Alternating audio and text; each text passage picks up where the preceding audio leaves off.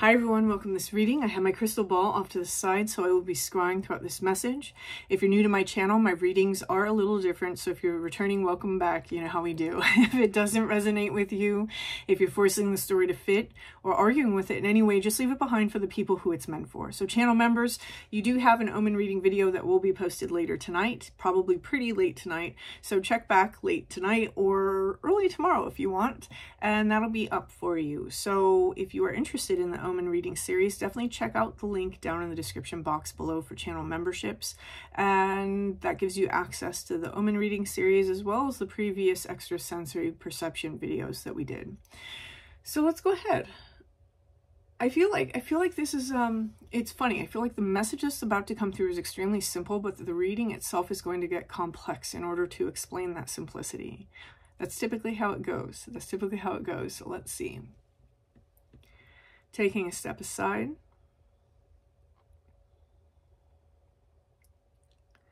And allowing spirit to pass through me. Opening up to receive information. If you only knew, if you only knew, if you only knew how much you are loved, you would not worry. Okay feeling my heart center open up uh, a great deal as I'm saying that right now. It's like, yeah, if you only knew how much you were loved, you would not worry. Is that where I'm cutting it? Okay. I almost feel like I have to cut this one a second time. Let's see.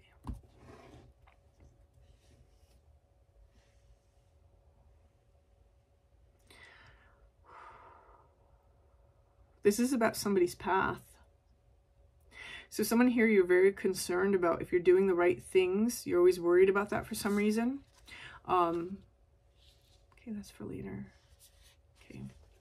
And here we have Heart of Source, all-encompassing love. If you only knew how much you were loved, you would not worry about your path.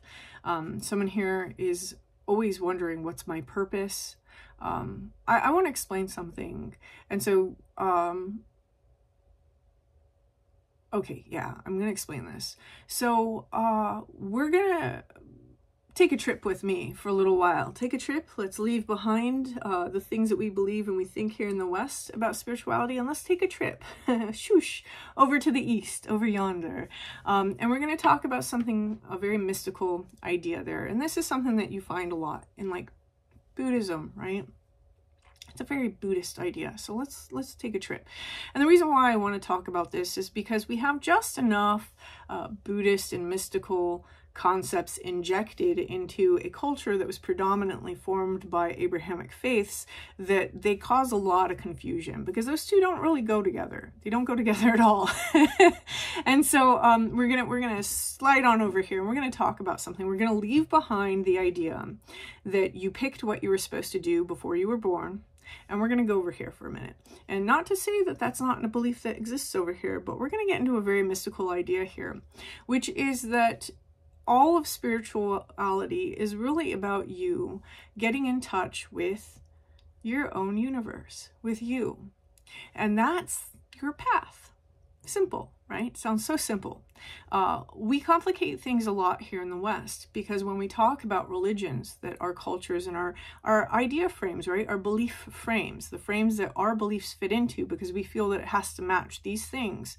Um, when we have those ideas already ingrained within us for a couple thousand years now, uh, what we do is we create these boxes that everything has to fit inside of. And this is, you know, throwing no shame to Christianity, no shame to Islam or anything like that, or Judaism. Uh, but I just want to talk about a different way of perceiving these things.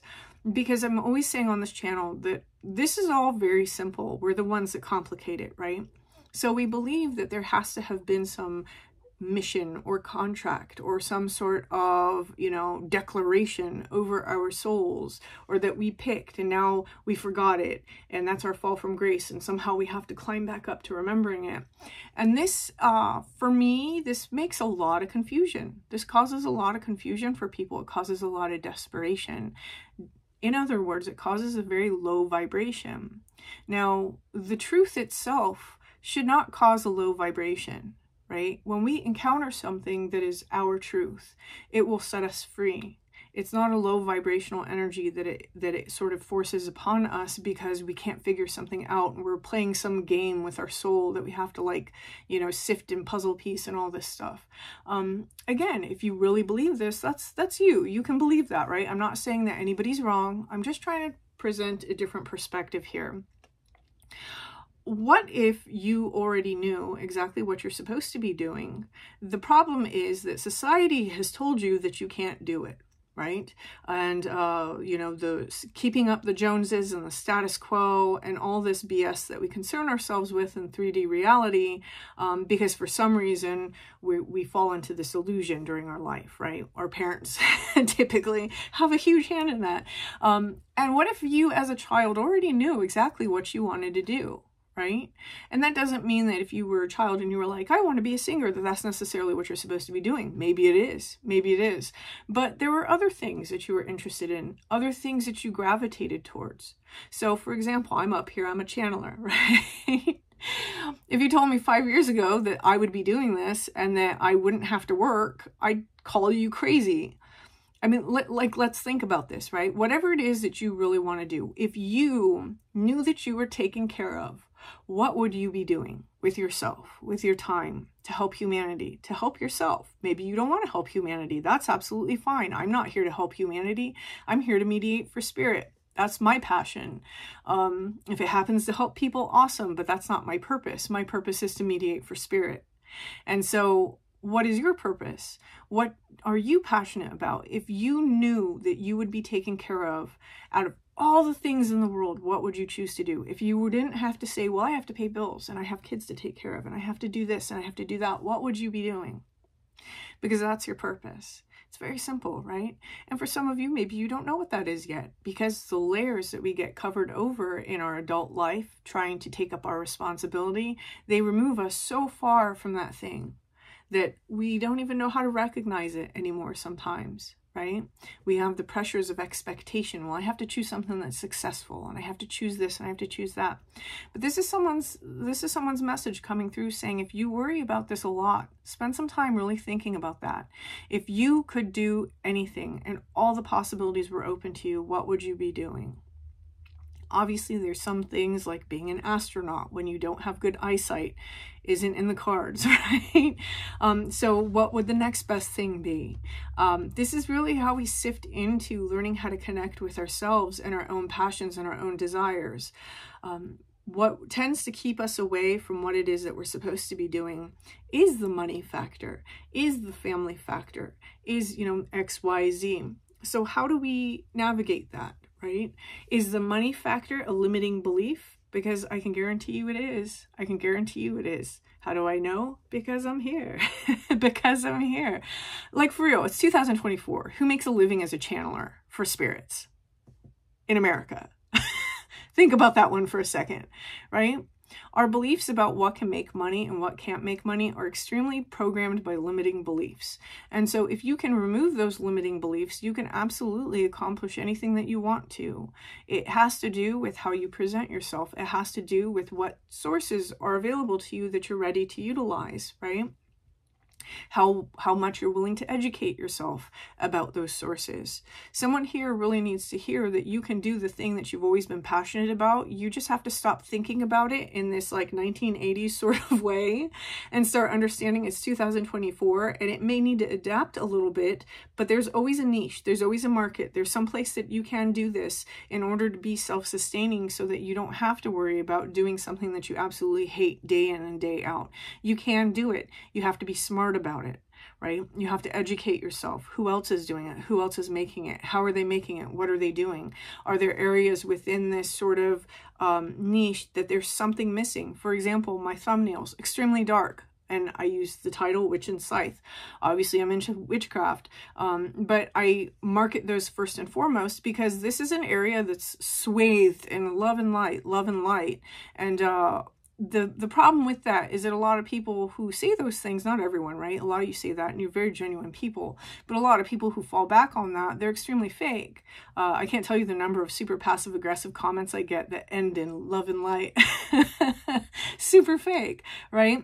And people know that on a deep subconscious level that love and light what does that really mean? What does that really mean for most people? And uh, not saying there's anything wrong if you say that. I think it's beautiful as a saying. Uh, but there's there's something missing for most people from from that sort of paradigm. And so they're looking for something to fulfill the rest of them, which is the subconscious, the dark feminine, the dark. And so my thumbnails are all branded as very dark imagery um, and it works. So there this is what i'm saying about educating yourself about the market that you're trying to step into. Uh, what's missing? How can you fill what's missing? How can you set yourself apart by filling that missing role right within the tarot community.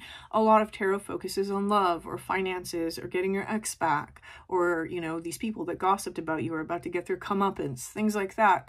And there's so much of that out there. And uh, that's not really what the spirits I'm channeling are really concerned with. And so I fill a mar- I fill a niche that's not readily available on YouTube. And that's why it works. So you can absolutely do this. Whatever it is that you're trying to do, if someone who channels spirits can make it, you can make it.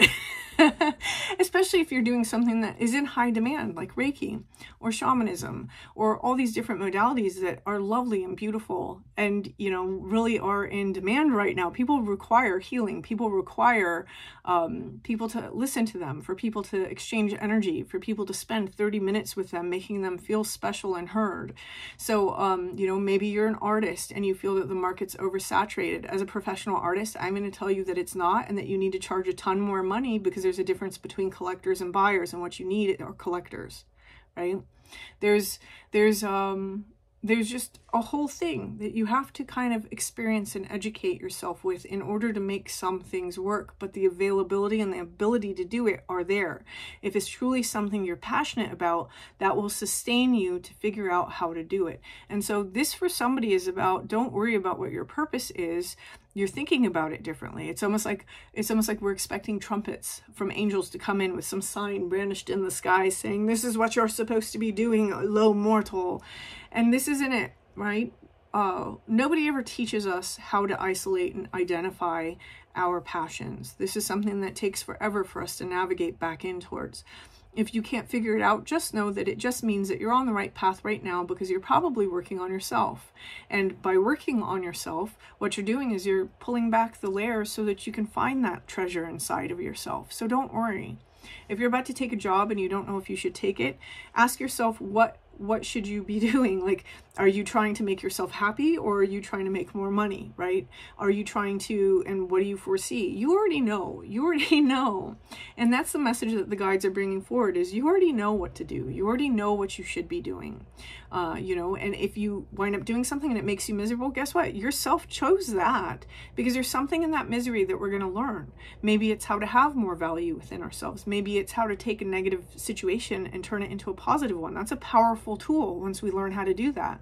It's not a punishment for making the wrong choice. It's not, you know, pigeonholing yourself into some sort of rabbit hole that now you have to like climb out of. I don't know why all the animal holes all of a sudden. I say next card, okay, and uh, oh, oh, they're funny. They're so funny because it's a hawk. That's why, and it looks like a black hole behind it. Um, and this from this sort of galaxy sort of black hole, we have that above, below of the Merkaba, right? The triangle of manifestation, the triangle of dissension, or ascension, and uh, what we have here is we have the soul star activation, fulfilling contracts, remembering who you are. So if you believe that you have contracts, this is one way that you can get back to that center and figure out what it is that you agreed to because you're not going to come into life if you made a contract and suddenly have to play some game with yourself and the universe as to like figuring it out and I hope I find this one right way. Like that's no, you don't have to do that. Don't worry, it's not like that. You know, it's already in there. We just have to unpack something about ourselves to really get into if I were completely taken care of, what would I be doing? if I'm, uh, you know, not in physical health to be doing that, then we just got to find the next thing, right? With my with my certain parameters, what would I be doing now? Maybe even despite your health, you could be doing it, and you might have a limiting limiting your possibilities. Just, you know, putting that out there. Think about that. How are we limiting ourselves? Because we are programmed to think that money only comes this way or only people in this certain physical condition can do this. Um, you know, that we have evidence against those things everywhere around us. Obviously, there's some things that, you know, if, if you, you can't see and you wanted to be, again, you wanted to be an astronaut, for example, um, you have to have a certain type of vision to be an astronaut. Uh, maybe you're too old for that. Maybe you didn't go to the military. Maybe, you know what I mean? Like, I don't know why astronauts coming up. So for somebody, it might be something like that. Maybe you're supposed to get into other things, aeronaut, you know, aerospace engineering, or I don't know why I'm going all this way, but it's just an example, right? Um, for somebody here, it's like we have a lot of layers that are built up, and it's about pushing back those layers, pushing back those limiting beliefs and those lies to really figure out what it is that we have, what the universe has poured into us, what we've poured into ourselves, in other words, right? Going inside and figuring out what do I want to do? What do I want to do? You don't have to worry about before because whatever was before, if it was real, that's going to be in you. The question is, what do I want to do? Right? And uh, if you're worried about your path now and you're worried about all those things, just remember the self is constantly navigating itself towards one goal, and that goal is the process of awakening, right? The whole process of fully awakening into its God self. And then, you know, I'm sure there's a whole bunch beyond that. Um, but like, we're, we're going, we're all going, right? We're all going. Um, I think it's the channel Swimming Through the Void, I believe. He has some sort of saying on the top that says, uh, we're all walking each other home. Uh, and, and that's so true. Like, you know, whether a person's on a spiritual journey or not, they're on their journey, right? We're the ones that separate the physical reality from the spiritual. That that separation is not there. We're the ones that separate it based on what we see and what we hear with our physical senses. We're the ones that separate our physical life from our spiritual life. You going to work, working that nine to five, clocking in and out, coming home, cooking for the kids is a deeply spiritual experience. We're the ones that separate those things. You're on your journey. You've always been on your journey. You've always been on the path, right? It's just that when we start deciding we want it to be more spiritual, then we start cultivating a more spiritual path. When we're the ones that decide, oh, we want to have this purpose, now we start cultivating this purpose for ourselves. You already have this inside of you. So whoever you are, don't worry. If you knew how much you were loved, you wouldn't worry so much. You would look at yourself with the same love that you're being shown. Um, not that you can always see it, right? Again, limiting beliefs are very heavy inside this energy. Um, but you would look at yourself with the same kind of love that your spirit team, your ancestors have for you, are showing for you. Um, maybe there are some opportunities that we're missing because of these limiting beliefs that we have. Because remember, when we can't see them, we can't see them.